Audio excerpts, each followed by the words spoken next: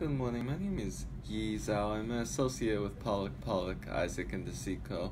I'm here today to discuss the new Homeland Security rule regarding public charge that they are considering implementing in the United States.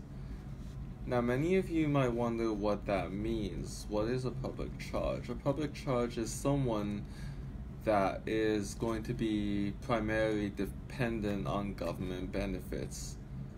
People who are not self sufficient, people who require government assistance to survive.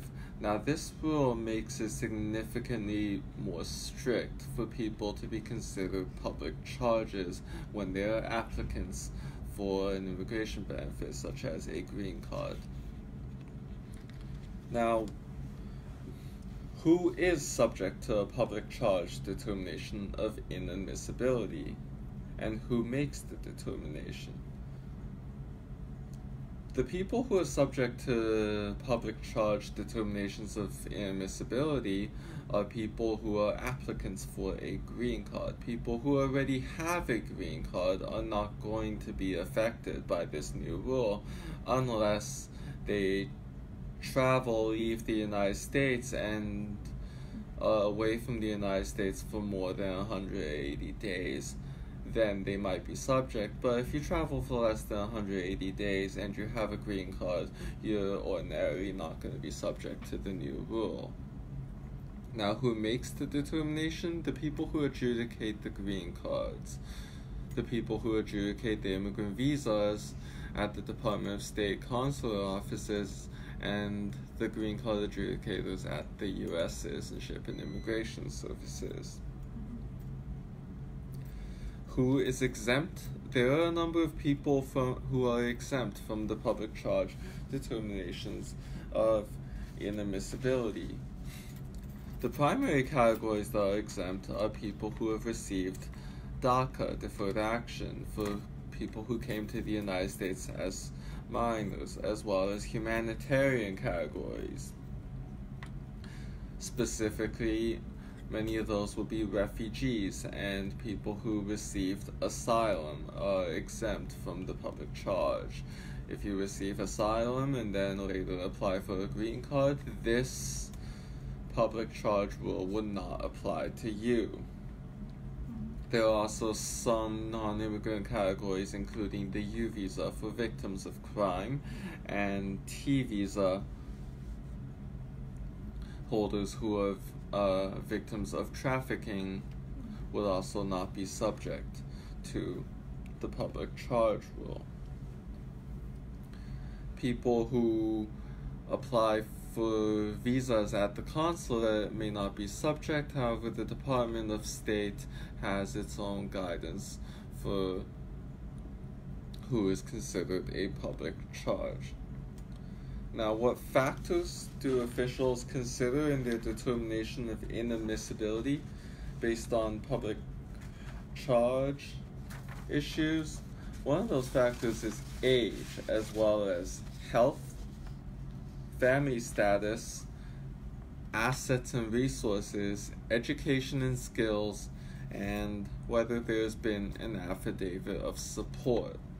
So, importantly, just just having the affidavit of support, which is submitted by the alien sponsor in the United States, it used to be sufficient on its own to show that somebody wasn't going to be a public charge. Now, this is just one factor that is used along with others, including age and health and education, to determine whether someone is likely to be a public charge. The USCIS can consider whether somebody may have a lack of employability. That is a heavily weighted factor in considering an individual to be a public charge, as well as previous findings of being a public charge, current receipt of a public benefit, or history of having received a public benefit within the last 36 months. These are all factors that you should take into consideration as heavily weighted factors that could show someone is a public charge. On the other hand, a history of employment, for example, a history of steady employment and having a good education and having particular skills that would allow you to be employed, as well as an affidavit of support, would all help in in helping you push back against any potential public charge determination.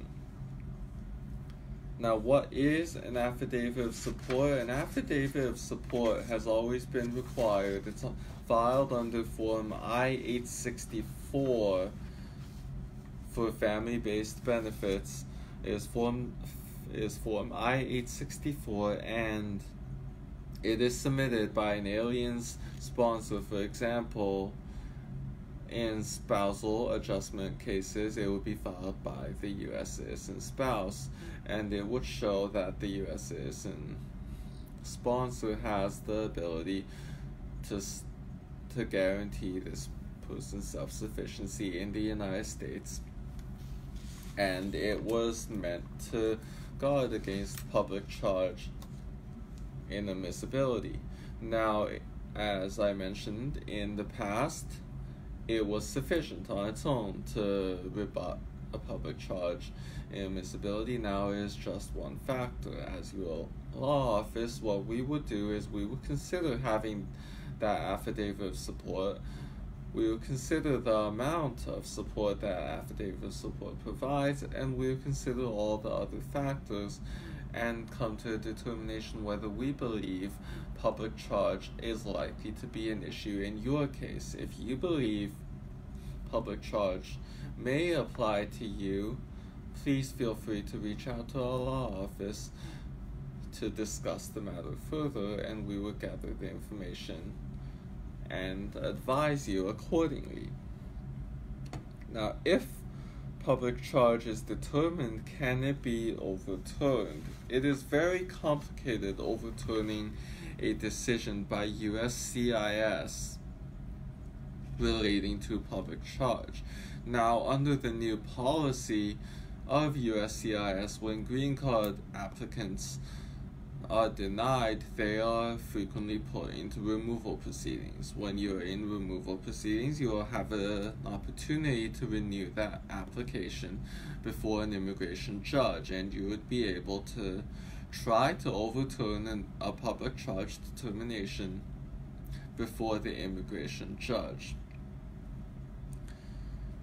When an individual is not placed into removal proceedings, and there should be relatively few of those going forward, those individuals may be eligible to appeal the determination. They would they could file a motion to reopen and reconsider. If it goes beyond that step, please come to our law office to discuss any further actions that may be possible, including possible district court review of the determination. Now, which public benefits are currently considered in the public charge determinations of inadmissibility?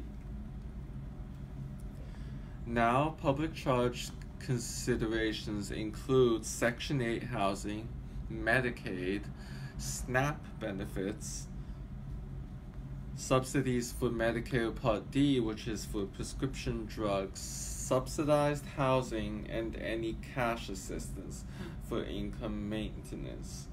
However, for example, if you merely receive some benefits under under Obamacare, if you have an insurance plan under Obamacare that is subsidized under the Obamacare exchanges that is not part of Medicare or Medicaid, that will not be considered a public charge determination. Now, what is a public charge bond? A public charge bond may be required if an applicant is unable to prove that they won't become a public charge. A bond is set by the Department of Homeland Security and it will be not less than $10,000. It will be a bond that you would have to pay in order to guarantee that you will not be a public charge. If you have any questions about this particular issue or any other issues relating to the public charge grounds of inadmissibility and how they have changed versus the past rules, please feel free to reach out to our office. And if please stay tuned for our future posts regarding other current issues of interest for the immigrant community. Thank you.